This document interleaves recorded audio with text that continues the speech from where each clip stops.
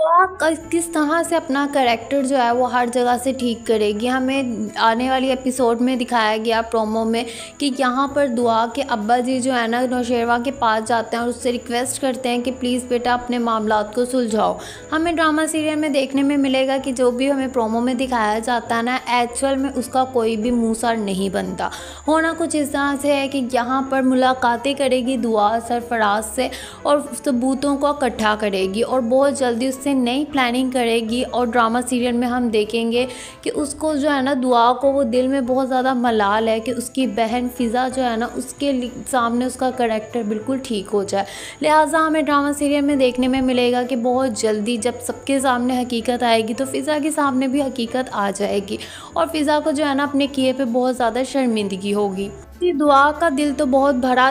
बना दिया जाएगा और दुआ सबको माफ़ कर देगी और बिल्कुल हैप्पी कपल की तरह नौशेरवा के साथ अपनी ज़िंदगी